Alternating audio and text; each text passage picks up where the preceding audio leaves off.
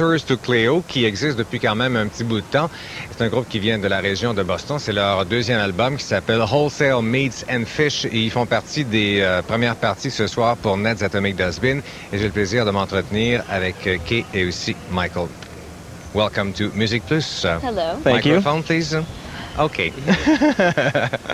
Hello. That's it. But that's already a second album. It, it seemed to come quickly. Uh, because your, your first one, the first one, well, was actually released uh, Aurora Borealis almost two years ago, but it became Mm-hmm. But popular. uh, yeah, here and now um, hit the airwaves about a little over a year later. So we were in the studio recording that when Here and Now got Really? got added. Oh, Yeah. yeah. Uh, uh, uh, So we just we wanted to release that. OK. Donc, parce que le, le deuxième album arrive quand même assez rapidement. Le premier, Aurora Borealis, était sorti en octobre 93. Ils étaient déjà... Il la chanson Here and Now a, a commencé à être populaire, mais ils étaient déjà en train de- d'enregistrer cet album-là, donc ils ont décidé de le sortir quand même. And uh, that song became popular because the show Melrose Place Yeah. played it. What, how, what happened? Somebody on the show was a fan of the song, or...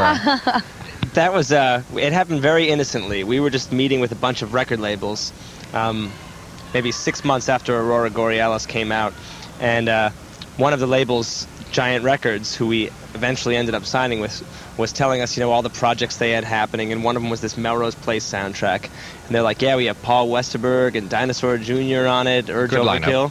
Mhm. Yes. So we were like, can we be on it? Yeah. and they We asked. we sent them the song here and now and they were into it and put it on and uh, you know with all the established stars that were on there we really thought we'd just sort of be tucked away at the end and nothing come of it and then we ended up being a single and getting Your song you know, a lot of our the, the hit. uh, notoriety Yeah. from that Donc, en fin de compte, la chanson Here and Now a été populaire parce qu'ils ont signé avec la compagnie Giant qui faisait la bande originale de l'émission Melrose Place. Et puis, en fin de compte, ils voyaient qu'avec les groupes qu'il y avait sur cette bande originale, Urge Overkill, Dinosaur Jr., etc., qui seraient peut-être mis de côté, mais en fin de compte, c'est leur chanson qui a été choisie. Et c'est comme ça que le groupe est devenu euh, populaire.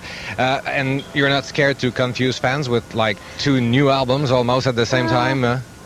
A You- you little. could have put a sticker in new and improved, or I don't yeah, know. it, it does actually say Okay. new. And improved. uh. Yeah. new album featuring 12 new tracks you know? Yeah. It's actually quite different than the first album. It's uh, a bit heavier, maybe. More. Yeah, it's um, it's it's just as pop, but Mhm. it's just it's a little um, I'd say happier and louder Yeah. or something. But there's also some quiet stuff on there too. Aurora was just a kind of subdued Mm-hmm. album, I think. We didn't have a whole lot of money or time to make it, Uh-huh. and this being our major label debut. Um, we had all those resources available to us, and we got to make the record that we really wanted to make. Mhm. Donc, c'est un disque qui est définitivement pop, comme dit Kay, mais quand même qui brasse un peu plus. Le premier album a été fait quand même assez rapidement. Puis là, ben, c'était leur premier disque sur une compagnie de disques importante. Donc, ils ont mis le paquet pour euh, ce disque-là. Et c'est euh, un très, très bon disque que je vous conseille, qui a été réalisé par Mike Deanan. What has he done? Mike Dean? mike deneen? Deneen, yeah? He is a, a Boston producer who actually produced our first album. And, uh, you know, our, when we first signed with Giant, they were talking about a bunch of different producers, and we sort of felt that since it was, you know, our first big major label record to be a lot of pressure and attention, we figured we'd rather go with the guy that we knew we worked well with. And uh, we had a little bit of a hard sell on the record company to tell him that, trust me, this guy can make a good album, even though he was not very well established. And uh, Mhm. they came out and met Mike personally and really liked him, and it, it ended up working out great. C'est ça, le réalisateur n'a pas un nom très très connu, Mike Deneen, mais ils ont insisté auprès de la compagnie de disques. Ils ont d'ailleurs convaincu la compagnie de disques qu'ils était capable de faire un très très bon disque. Donc ils ont préféré entrer en studio avec quelqu'un qui connaissait. On va regarder la chanson, le premier clip qu'on a de ce nouveau disque de Letters to Cleo qui s'appelle Awake et on revient ensuite pour continuer l'entrevue.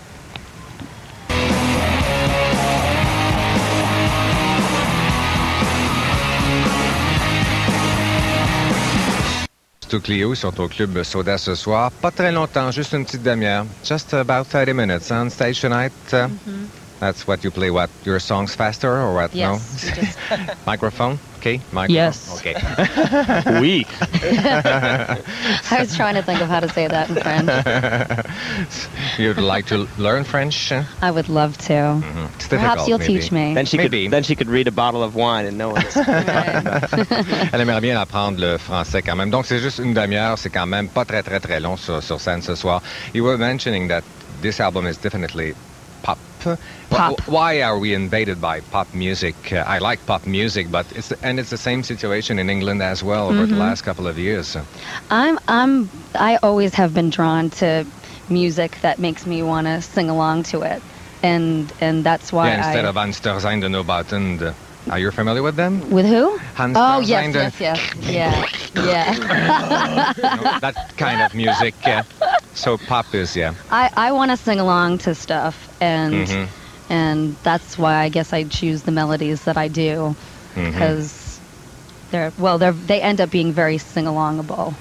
And I think you're coming to a point now where um, a lot of the bands that are coming up now either listen to heavy FM rock radio or more pop radio when they were young. Mhm. And uh, that's why you have some bands that, you know, Pearl Jam out of the sort of Zeppelin school, and then, you know, your other, you know, Teenage Fanclub and other pop bands that come more out of like a Beatles, uh, you know, AM radio kind of thing. Mhm. C'est ça, parce qu'ils font de la musique pop depuis. Euh, Kay me dit qu'elle aime les chansons dont elle peut se souvenir. Là, le bruit que je faisais tantôt, c'était pour imiter le groupe allemand Anstersein Neubatten qui font de la musique industrielle. C'est pas vraiment leur bague de musique. Puis il dit, euh, euh, Michael disait qu'il y a deux écoles. Il y a le style Pearl Jam qui ont écouté du Led Zeppelin ou comme eux autres qui écoutaient de la radio AM un peu plus pop. Et c'est quand même, il y en a plusieurs groupes pop. That makes a good competition though because you have several, so it's more work. Yeah, Definitely, definitely. I would say.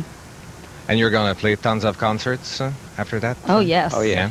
Hope you'll be back in Montreal for more than a half Yes, hour. we will. So, We d'accord. promise. Well, thanks for stepping at Music Plus. Uh, Oubliez pas le spectacle, c'est ce soir, c'est au Club Soda. Il y a donc quatre groupes. Ça commence avec Fig Dish, qui vient de sortir un nouvel album. Ensuite de ça, il y aura Letters to Clero.